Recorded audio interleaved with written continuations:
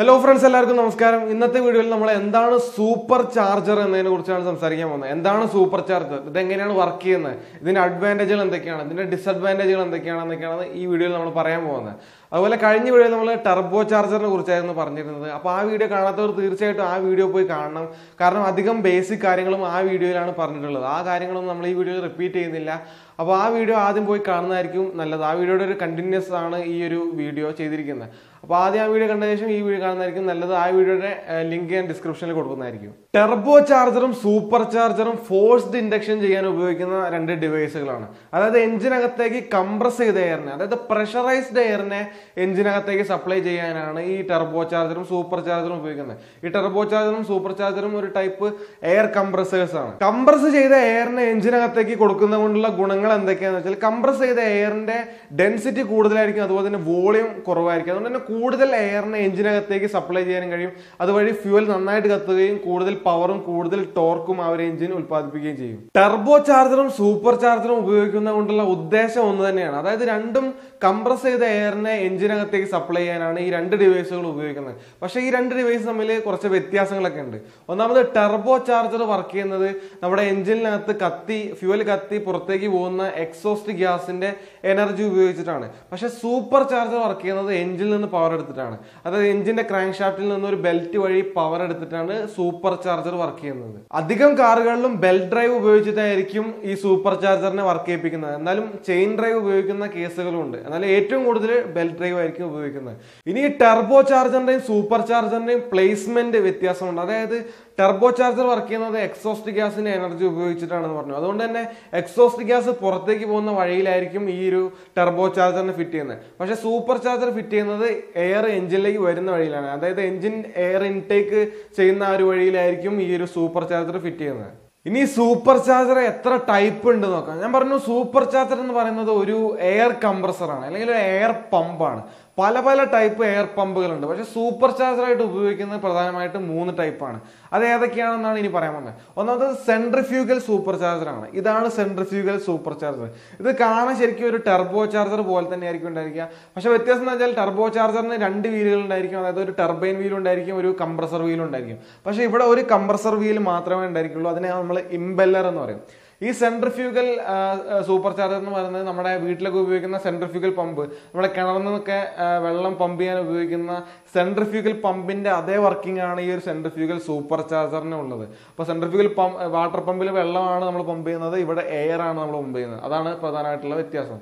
ഇനി ഈ centrifugal super ചാർജറിന്റെ വർക്കിങ്ങിലേക്ക് വരുമ്പോൾ ഈ സെൻട്രിഫ്യൂഗൽ സൂപ്പർ ചാർജറിന്റെയും സെൻട്രിഫ്യൂഗൽ പമ്പിന്റെയൊക്കെ വർക്കിംഗ് പ്രിൻസിപ്പിൾ ഒന്ന് തന്നെയാണ്. സെൻട്രിഫ്യൂഗൽ ഫോഴ്സ് ആണ് ഇതിന്റെയൊക്കെ വർക്കിംഗ് പ്രിൻസിപ്പിൾ എന്താണ് സെൻട്രിഫ്യൂഗൽ ഫോഴ്സ് എന്ന് വെച്ചാൽ ഉദാഹരണത്തിന് നമ്മളൊരു നൂലിന്റെ അറ്റത്ത് ഒരു കല്ല് കെട്ടി ആ നൂൽ നമ്മൾ കറക്കിക്കൊണ്ടിരിക്കുകയാണ്. പെട്ടെന്ന് ആ നൂലിന് നമ്മൾ കൈയെടുത്ത് കഴിഞ്ഞാൽ ആ കല്ല് പുറത്തേക്ക് തെറിക്കുന്നതായിട്ട് നമുക്ക് കാണാൻ കഴിയും. ഇത് സെൻട്രിഫ്യൂഗൽ ഫോഴ്സ് കാരണമാണ് സംഭവിക്കുന്നത്. അതായത് ഒരു കറങ്ങിക്കൊണ്ടിരിക്കുന്ന ഒരു വസ്തു എപ്പോഴും അതിന്റെ സെൻട്രൽ ആക്സിസിൽ നിന്ന് തെറിച്ച് പോകാനുള്ള ടെൻഡൻസിയാണ് കാണിക്കുന്നത്. ഇതിനെയാണ് സെൻട്രിഫ്യൂഗൽ ഫോഴ്സ് എന്ന് പറയുന്നത്. ഇപ്പോൾ ഉദാഹരണത്തിന് ഒരു പാത്രത്തിൽ നമ്മൾ കുറച്ച് വെള്ളം എടുക്കുകയാണ്. ആ വെള്ളം ഉള്ള പാത്രം നമ്മൾ കറക്കി കഴിഞ്ഞാൽ ആ പാത്രത്തിനകത്ത് വെള്ളം ആ പാത്രത്തിന്റെ സൈഡിലേക്ക് നീങ്ങുന്നതായിട്ട് കാണാൻ കഴിയും. ഇതും സെൻട്രിഫ്യൂഗൽ ഫോഴ്സിന്റെ കാരണമായിട്ടാണ് ഉണ്ടാവുന്നത്. ഇത് തന്നെയാണ് ഈ ഒരു സെൻട്രിഫ്യൂഗൽ സൂപ്പർ ചാർജറിന്റെയും വർക്കിംഗ് പ്രിൻസിപ്പിൾ ഇനി ഇതിന്റെ ഭാഗങ്ങൾ ഏതൊക്കെയാണെന്ന് നോക്കുകയാണെങ്കിൽ ഇവിടെ ഈ നടുവിൽ കാണിച്ചിരിക്കുന്ന ഇംബെല്ലർ ഈ ഒരു റെഡ് കളറിലുള്ള ഇംബെല്ലർ ആണ് ഏറ്റവും പ്രധാനപ്പെട്ട ഭാഗം. ഇതാണ് കറങ്ങുന്ന ഭാഗം. ഇനി ഇംബെല്ലറിന് ചുറ്റുമുള്ള ഈ ഒരു ബ്ലേഡിനെ നമ്മൾ ഡിഫ്യൂസർ എന്നാണ് പറയുന്നത്. ഈ ഗ്രീൻ കളറിൽ വരച്ചിരിക്കുന്നതാണ് ഡിഫ്യൂസർ ഡിഫ്യൂസർ കറങ്ങില്ല അവിടെ സ്റ്റേഷനറി ആയിട്ട് നിൽക്കുകയാണ് ചെയ്യുന്നത്. ഡിഫ്യൂസർ എന്തിനാണ് കൊടുക്കുന്നത് വെച്ചാൽ ഈ എയറിന്റെ പ്രഷർ കൂട്ടാനും അതുപോലെ തന്നെ ഒരു നിശ്ചിത ഡയറക്ഷനിലേക്ക് എയറിനെ തള്ളിവിടാനുമാണ് ഈ ഒരു ഡിഫ്യൂസർ അവിടെ കൊടുത്തിരിക്കുന്നത്. ഇനി കേസിങ്ങിന് ഒരു പ്രത്യേകതയുണ്ട്. ഈ കേസിങ്ങിന് നമുക്ക് നോക്കി കാണാൻ സാധിക്കും. ഇവിടെ ഏരിയ കുറഞ്ഞ് ഇവിടെ ഏരിയ കൂടി വരുന്ന രീതിയിലാണ് ഇതിന്റെ ആ ഒരു കൺസ്ട്രക്ഷൻ ഇതിനെ വൊല്യൂട്ട് കേസിംഗ് എന്നാണ് പറയുന്നത്. ഇനി ഇതിന്റെ വർക്കിങ്ങിലേക്ക് വരുമ്പോൾ നമ്മൾ എഞ്ചിൻ സ്റ്റാർട്ട് ചെയ്ത് കഴിഞ്ഞാൽ എഞ്ചിന്റെ ക്രാങ്ക് ഷാഫ്റ്റ് കറങ്ങും. എഞ്ചിന്റെ ക്രാങ്ക് ഷാഫ്റ്റിൽ നിന്ന് ഒരു ബെൽറ്റ് വഴിയായിരിക്കും ഈ ഒരു ഇംബെല്ലറിനെ കറക്കുന്നത്. ഇമ്പെല്ലറിനെ ബെൽറ്റ് വഴി ഡയറക്റ്റ് കറക്കാതെ ഒരു സെറ്റ് ഗിയർ ഉപയോഗിച്ചിട്ടായിരിക്കും കറക്കുന്നത്. അത് എന്തിനാണ് അങ്ങനെ ചെയ്യുന്നത് വെച്ചാൽ ഈ ക്രാങ്ക് ഷാഫ്റ്റ് കറങ്ങുന്നതിനേക്കാൾ കൂടുതൽ ആർ പി എമ്മിൽ ഈ ഒരു ഇംബെല്ലറിനെ കറക്കാനാണ്. ഇപ്പോൾ ഒരു വലിയ ഗിയറിലേക്ക് ആയിരിക്കും ഈ ഒരു എഞ്ചിനിൽ നിന്ന് വരുന്ന ഡ്രൈവിനെ കൊടുക്കുന്നത്. ബെൽറ്റ് വഴി ഈ ഒരു വലിയ ഗിയറിനെ കറക്കുകയും ഈ ഇമ്പല്ലറിനെ ചെറിയ ഗിയറുമായിട്ട് കണക്ട് ചെയ്യുകയും ചെയ്യും. അതുവഴി വലിയ ഗിയർ ചെറിയ ഗിയറിനെ കറക്കുമ്പോൾ അവിടെ ആർ പി എം കൂടും. അതിന്റെ ആ ഒരു റൊട്ടേഷൻ സ്പീഡ് അവിടെ കൂടുകയും ചെയ്യും.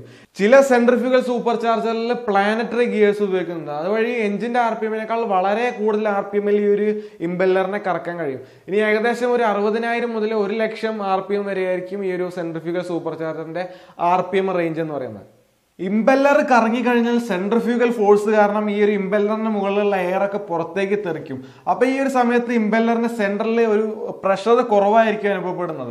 ഇവിടെ ഈ ഒരു പ്രഷർ കുറവ് കാരണം പുറത്തുനിന്ന് എയർ ഈ ഒരു ഭാഗത്തേക്ക് ഒരു വലിവ് ഈ ഒരു ഇമ്പല്ലറിന്റെ സെന്ററിലേക്ക് ഉണ്ടാവും. അപ്പോൾ ഈ ഒരു വഴിയിലാണ് നമ്മൾ എയർ ഫിൽറ്റർ വഴി എയർ സപ്ലൈ ചെയ്യുന്നത്. എയർ ഫിൽറ്റർ വഴി ഈ ഒരു ഇമ്പല്ലറിന്റെ സെന്ററിലേക്കാണ് നമ്മൾ എയറിനെ സപ്ലൈ ചെയ്യുന്നത്. എയർ ഇമ്പല്ലറിലേക്ക് എത്തിക്കഴിഞ്ഞാൽ ഈ ഒരു സെൻട്രിഫ്യൂഗൽ ഫോഴ്സ് കാരണം ഈ എയർ പുറത്തേക്ക് തെറിക്കപ്പെടും. ഇനി ഈ ബ്ലേഡുകളുടെ ഡിസൈൻ എങ്ങനെയാണെന്ന് വെച്ചാൽ ഇവിടെ ഏരിയ കൂടി വരുന്ന രീതിയിലാണ് ഈ ഒരു ബ്ലേഡുകൾ സെറ്റ് ചെയ്ത് വെച്ചിരിക്കുന്നത്. അപ്പോൾ അതുകൊണ്ടുള്ള അഡ്വാന്റേജ് വെച്ചാൽ എയറിന്റെ പ്രഷറിനെ കൂട്ടാനേ സഹായിക്കും. അതുപോലെ തന്നെ ഒരു ഡിഫ്യൂസറും എയറിന്റെ പ്രഷറിനെ കൂട്ടുകയും ഈ ഒരു എയറിനെ ഇവിടേക്ക് ഫോഴ്സ് ചെയ്യുകയും ചെയ്യും. ഇവിടെ ഒരു കേസിങ്ങിന്റെ പ്രത്യേകത നമ്മൾ പറഞ്ഞു. ഇവിടെ ഏരിയ കുറഞ്ഞത് അത് കൂടി കൂടി വരുന്ന രീതിയിലാണ് ഈ കേസിങ് വെച്ചിരിക്കുന്നത്. അപ്പോൾ എയർ ഈ ഒരു ഭാഗത്തേക്ക് വന്ന് എയർ ഇവിടേക്ക് നീങ്ങുന്നതനുസരിച്ച് അതിന്റെ വെലോസിറ്റി കുറയുകയും പ്രഷർ കൂടുകയും ചെയ്യും. ഏരിയ കൂടി വരുന്നതനുസരിച്ച് ഒരു ഫ്ലൂയിഡിന്റെ പ്രഷർ കൂടുമെന്ന് മനസ്സിലാക്കുക. അപ്പോൾ ഈ ഒരു എയർ ഇത് കൂടെ പാസ് ചെയ്യുന്നത് ഏരിയ കൂടി കൂടി വന്ന് എയറിന്റെ പ്രഷർ കൂടി കൂടി നല്ലൊരു പ്രഷറിൽ ഈ ഒരു എയറിനെ നമ്മൾ എഞ്ചിനിലേക്ക് സപ്ലൈ ചെയ്യുകയും ചെയ്യും. അപ്പോൾ ഇത്രയുമാണ് സെൻട്രിഫ്യൂഗൽ സൂപ്പർ ചാർജറിന്റെ വർക്കിംഗ് സെൻട്രിഫ്യൂഗൽ സൂപ്പർ ചാർജറിന്റെ അഡ്വാന്റേജുകൾ എന്തൊക്കെയാണെന്ന് വെച്ചാൽ ഇത് താരതമ്യേന വെയിറ്റ് കുറവായിരിക്കും അതുപോലെ തന്നെ ഇതിന്റെ സൈസും കുറവായിരിക്കും. അതുകൊണ്ട് തന്നെ ഇത് ബോണറ്റിനകത്ത് ഫിറ്റ് ചെയ്യാൻ വളരെ ഈസി ആയിരിക്കും. കുറച്ച് സ്പേസ് മതിയാവും ഇത് ഫിറ്റ് ചെയ്യാൻ. ബാക്കിയുള്ള സൂപ്പർ ചാർജറിനെ പോലെ ബോണറ്റിന്റെ പുറത്തേക്ക് തെറിച്ച് നിൽക്കുന്ന രീതിയിലൊന്നും ഇത് ഫിറ്റ് ചെയ്യേണ്ട ആവശ്യമില്ല. വളരെ ഈസി ആയിട്ട് ഈ ഒരു സൂപ്പർ ചാർജർ ഫിറ്റ് ചെയ്യാൻ സാധിക്കും. ഇതിന്റെ സൈസ് കുറവാണെന്ന് പറഞ്ഞു. അതുകൊണ്ട് തന്നെ ഈ ഒരു സെൻട്രിഫ്യൂഗൽ ടൈപ്പ് സൂപ്പർ ചാർജറാണ് കവാസാക്കിയുടെ നിഞ്ച എച്ച് ടു എന്ന ബൈക്കിൽ ഉപയോഗിക്കുന്നത്. പിന്നെ ഇതിന്റെ തെർമൽ എഫിഷ്യൻസി കൂടുതലായിരിക്കും. ഇത് അധികം ഹീറ്റ് ആവുകയില്ല ഇനി സെൻട്രിഫ്യൂഗൽ സൂപ്പർ ചാർജറിന്റെ ഡിസഡ്വാന്റേജുകൾ എന്തൊക്കെയാണെന്ന് വെച്ചാൽ ഇത് ലോവർ ആർ പി എമ്മിൽ അത്ര എഫക്റ്റീവ് ആയിട്ടുള്ള ഒരു പവർ ഉണ്ടാക്കില്ല എന്നുള്ളതാണ്. അതായത് ലോവർ ആർ പി എമ്മിൽ അത്ര പവർഫുൾ ആയിട്ടുള്ള ഒരു പെർഫോമൻസ് നൽകില്ല ഈ ഒരു സെൻട്രിഫ്യൂഗൽ സൂപ്പർ ചാർജ് പക്ഷേ ഹയർ ആർ പി എമ്മിൽ വളരെ നല്ല പവർ ആയിരിക്കും ഇത് എഞ്ചിനിൽ ഉണ്ടാക്കുന്നത്. ഇതൊരു ടെർബോ ചാർജറിന്റെ പോലെ ടെർബോ ലാഗ് ഒന്നും ലോവർ ആർ പി എമ്മിൽ ഉണ്ടാക്കില്ല. എന്നാലും ലോവർ ആർ പി എമ്മിൽ അത്ര എഫക്റ്റീവ് ആയിട്ടുള്ള ഒരു പവർ ഈ ഒരു സെൻട്രിഫ്യൂഗൽ സൂപ്പർ ചാർജറിന് ഉണ്ടാക്കാൻ കഴിയില്ല. ഇതിന്റെ മറ്റൊരു ഡിസഡ്വാന്റേജ് ഇതിന് ലൂബ്രിക്കേഷൻ ആവശ്യമായിട്ട് വരും. ബാക്കിയുള്ള രണ്ട് ടൈപ്പ് സൂപ്പർ ചാർജറിലും ലൂബ്രിക്കേഷൻ ആവശ്യമില്ല. പക്ഷേ ഈ ഒരു സെൻട്രിഫ്യൂഗൽ ടൈപ്പിൽ ലൂബ്രിക്കേഷൻ ആവശ്യമായിട്ട് വരും. നമ്മൾ ടെർബോ ചാർജറിന് വേണ്ട അത്ര ലൂബ്രിക്കേഷൻ ഒന്നും വേണ്ടെങ്കിലും ഈ ഒരു സെൻട്രിഫ്യൂഗൽ സൂപ്പർ ചാർജറിന് ചെറുതായിട്ടുള്ള ലൂബ്രിക്കേഷൻ ആവശ്യമാണ്. അതൊരു ചെറിയ ഡിസഡ്വാന്റേജ് ആണ്. ഇനി അടുത്ത ടൈപ്പ് സൂപ്പർ ചാർജറിലേക്ക് കിടക്കാം. അടുത്ത ടൈപ്പാണ് റൂട്ട്സ് ടൈപ്പ് സൂപ്പർ ചാർജർ അല്ലെങ്കിൽ ലോബ് ടൈപ്പ് സൂപ്പർ ചാർജർ എന്ന് പറയും. ഇതിനകത്ത് രണ്ട് ഒരേ ഷേപ്പിലുള്ള രണ്ട് റോട്ടറുകളായിരിക്കും ഉണ്ടായിരിക്കുക. ഇവിടെ കാണുന്നത് ഒരേ ഷേപ്പൊന്നുമല്ല പക്ഷേ ശരിക്കും ഒരേ ഷേപ്പിലുള്ള രണ്ട് റോട്ടറുകൾ ആയിരിക്കും ഉപയോഗിക്കുന്നത്. ഇവിടെ ഈ ഒരു കാണുന്നതിനെയാണ് ലോബ് എന്ന് പറയുന്നത്. ഇവിടെ ഇപ്പോൾ ത്രീ ലോബ് ഉള്ള റോട്ടറാണ് ഇവിടെ മൂന്ന് ലോബാണ് ഉള്ളത് ഇതുപോലത്തെ മൂന്ന് ലോബുള്ള രണ്ട് റോട്ടറുകളായിരിക്കും ഇവിടെ ഉപയോഗിക്കുന്നത്. ഇത് നല്ല നീളത്തിലുള്ളതായിരിക്കും ഈ ഒരു ചിത്രത്തിൽ കാണിച്ചിരിക്കുന്ന പോലെ നല്ല നീളത്തിലുള്ള ഒരു റോട്ടറായിരിക്കും ഇത്. ഈ റോട്ടറുകളുടെ പ്രത്യേകത എന്ന് വെച്ചാൽ ഇത് കറങ്ങുമ്പോൾ ഇത് തമ്മിൽ ടച്ച് ആവില്ല. അതുപോലെ തന്നെ അത് കറങ്ങുമ്പോൾ ഈ ഒരു കേസിങ്ങുമായിട്ടും കോണ്ടാക്ട് ഉണ്ടാക്കില്ല. അതെന്തിനാണ് അങ്ങനെ ചെയ്യുന്നതെന്ന് വെച്ചാൽ ഇങ്ങനെ മെറ്റൽ പാർട്ടുകൾ തമ്മിൽ കോണ്ടാക്ട് വന്നു കഴിഞ്ഞാൽ അവിടെ ഫ്രിക്ഷൻ ഉണ്ടാവുകയും ഹീറ്റ് ആവുകയും മെറ്റൽ എക്സ്പാൻഡ് ആയി തമ്മിൽ സ്റ്റെക്കായി പോകാനുള്ള ചാൻസ് ഉണ്ട്. അതുകൊണ്ട് തമ്മിൽ എവിടെയും ടച്ച് ആവാത്ത രീതിയിലാണ് ഈ ഒരു റോട്ടറുകൾ കറങ്ങുന്നത്. അതെങ്ങനെയാണ് സാധ്യമാക്കുന്നത് വെച്ചാൽ ഗിയർ ഉപയോഗിച്ചിട്ടാണ് ഇവിടെ ഈ ഒരു റോട്ടറുകളെയും കറക്കുന്നത്. അതായത് ഗിയർ പുറത്തുള്ള ഗിയർ കറക്റ്റ് മെഷായിരിക്കും പക്ഷേ ഈ ഒരു ലോബുകൾ തമ്മിൽ ടച്ച് ആവാത്ത രീതിയിൽ കറക്കാൻ അങ്ങനെ സഹായിക്കും. സ്ട്രെയിറ്റ് ലോബുള്ള റോട്ടറും ഉണ്ട് അതുപോലെ തന്നെ ട്വിസ്റ്റഡ് ലോബുള്ള റോട്ടറും ഉണ്ട്. അതുപോലെ തന്നെ നാല് ലോബുള്ള റോട്ടറുകളും ഉണ്ട്. അധികം ട്വിസ്റ്റഡ് ലോബുള്ള ടൈപ്പാണ് ഉപയോഗിക്കുന്നത്. കാരണം അതിന്റെ വൈബ്രേഷനും അതിന്റെ നോയ്സും ഒക്കെ കുറവായിരിക്കും. അപ്പോൾ തന്നെ നാല് ലോബുള്ള സൂപ്പർ ചാർജറുകളും നല്ല എഫിഷ്യന്റ് ആയിരിക്കും. ഇനി ഇതിന്റെ വർക്കിങ്ങിനെ കുറിച്ച് പറയുകയാണെങ്കിൽ ഒരു റോട്ടർ കറങ്ങുന്നത് ഇങ്ങനെയാണ്. അതായത് ഒരു എയറോ കാണിച്ചിരിക്കുന്ന പോലെ ഇങ്ങനെയാണ് കറങ്ങുന്നത്. ഒന്ന് ക്ലോക്ക് വൈസ് ഡയറക്ഷനിലും ഒന്ന് ആന്റി ക്ലോക്ക് വൈസ് ഡയറക്ഷനിലും എയർ വരുന്നത് ഇങ്ങനെയായിരിക്കും. അങ്ങനെ ഇങ്ങനെ വരുന്ന എയർ ഈ ഒരു ലോബുകൾ കറങ്ങുന്നത് കാരണം ഇങ്ങോട്ട് ഫോഴ്സ് ചെയ്യും.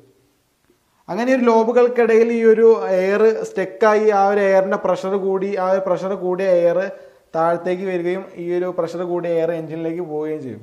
ഈ ഒരു ടൈപ്പ് സൂപ്പർ ചാർജറിനെ റൂട്ട്സ് ബ്ലോവർ എന്ന് പറയും. അതായത് ഒരു എയർ ബ്ലോവറിനെ പോലെയാണ് ഇത് വർക്ക് ചെയ്യുന്നത്. ഇതിവിടെ എയറിനെ കംപ്രസ് ചെയ്യുക എന്നതിനുപരി എയറിനെ വളരെ വേഗതയിൽ താഴത്തേക്ക് ഫോഴ്സ് ചെയ്ത് വിടുക എന്നതാണ് ഈ ഒരു സൂപ്പർ ചാർജർ ചെയ്യുന്നത്. റൂട്ട്സ് ടൈപ്പ് സൂപ്പർ ചാർജറിന്റെ അഡ്വാന്റേജ് എന്തൊക്കെയാണെന്ന് വെച്ചാൽ ഇത് ലോവർ ആർ പി എമ്മിലും എഞ്ചിനിൽ വളരെ നല്ല പവർ ആയിരിക്കും ഉണ്ടാക്കുന്നത്. അതുപോലെ തന്നെ ഇതിന് എഞ്ചിൻ ഓയിൽ ലൂബ്രിക്കേഷൻ ആവശ്യമില്ല എന്നുള്ളതും ഒരു അഡ്വാന്റേജ് ആണ്. ഇനി ഈ റൂട്ട്സ് ടൈപ്പ് സൂപ്പർ ചാർജറിന്റെ ഡിസഡ്വാന്റേജുകൾ എന്തൊക്കെയാണെന്ന് വെച്ചാൽ ഇത് ഹെവി ആണ് അതുപോലെ തന്നെ ഇതിന്റെ സൈസ് വളരെ കൂടുതലാണ്. അതുകൊണ്ട് തന്നെ ഇത് എഞ്ചിന്റെ മുകളിലാണ് ഈ ഒരു സൂപ്പർ ചാർജർ ഫിറ്റ് ചെയ്യേണ്ടത് അപ്പോൾ ബോണറ്റിന്റെ അതിനനുസരിച്ചുള്ള മാറ്റങ്ങൾ വരുത്തേണ്ടി വരും. ചിലപ്പോൾ ബോണറ്റിന്റെ മുകളിലേക്ക് തള്ളി നിൽക്കുന്ന രീതിയിലായിരിക്കും ഈ ഒരു roots type super charger fit ചെയ്യേണ്ടി വരിക. ഇനി മറ്റൊരു ഡിസഡ്വാന്റേജ് ഈ മറ്റുള്ള സൂപ്പർ ചാർജർ ഉണ്ടാക്കുന്നതിനേക്കാളും ഹീറ്റ് ഈ ഒരു റൂട്ട്സ് ടൈപ്പ് സൂപ്പർ ചാർജർ ഉണ്ടാക്കും. ഇനി അവസാനത്തെ ടൈപ്പ് സൂപ്പർ ചാർജർ ആണ് ട്വിൻ സ്ക്രൂ സൂപ്പർ ചാർജർ ഇത് പേര് പറയുന്ന പോലെ തന്നെ ഇതിന്റെ റോട്ടർ സ്ക്രൂ ഷേപ്പിലായിരിക്കും ഉണ്ടായിരിക്കുക. അപ്പോൾ ഇവിടെ പറഞ്ഞ പോലെ തന്നെ ഈ സ്ക്രൂകൾ തമ്മിൽ ടച്ച് ചെയ്യുകയില്ല അതുപോലെ തന്നെ കേസിങ്ങുമായിട്ടും ഈ ഒരു സ്ക്രൂ കറങ്ങുമ്പോൾ കോണ്ടാക്റ്റിൽ വരില്ല. അപ്പോൾ ഇതിന്റെ ഡയറക്ഷൻ ഇതിൽ നിന്ന് വ്യത്യാസമാണ് വ്യത്യസ്തമാണ്. അതായത് ഇതിന്റെ കറങ്ങുന്ന ഡയറക്ഷൻ ഇങ്ങനെയായിരിക്കും കറങ്ങുന്നത്. ഈ ഒരു ഏരോ കാണിച്ചിരിക്കുന്ന പോലെ ഇങ്ങനെ ഇങ്ങനെയായിരിക്കും ഈ ഒരു സ്ക്രൂ കറങ്ങുന്നത്. ഇതാണ് ആ സൂപ്പർ ചാർജറിന്റെ രണ്ട് സ്ക്രൂ എന്ന് വിചാരിക്കുക. അത് ഇങ്ങനെയായിരിക്കും കറങ്ങുന്നത്.